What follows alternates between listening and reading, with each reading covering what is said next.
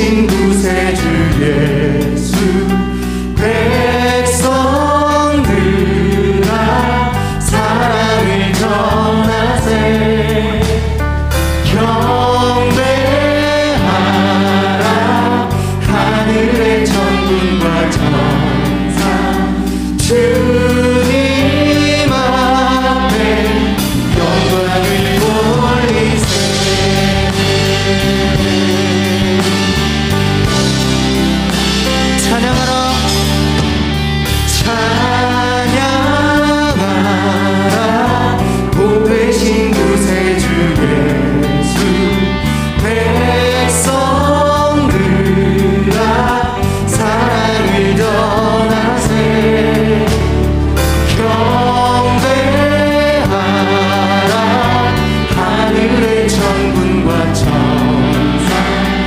to